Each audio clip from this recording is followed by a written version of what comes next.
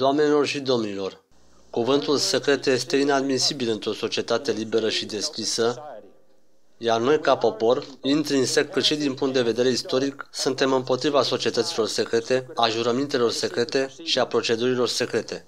Pentru că există împotriva noastră o conspirație monolitică și cruntă care se bazează în principal pe modalități ascunse pentru a-și extinde sfera de influență. Se bazează pe infiltrare în loc de invadare, pe subversiune în loc de alegeri, pe intimidare în loc de liberă alegere.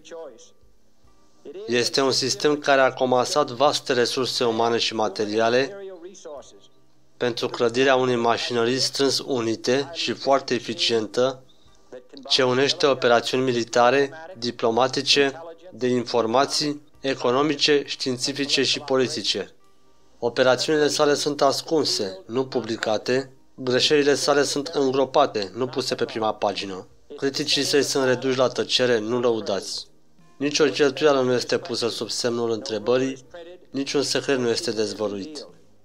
De aceea, judecătorul Atelian Soron a decretat ca fiind ilegal pentru orice cetățean să se sustragă unei controverse.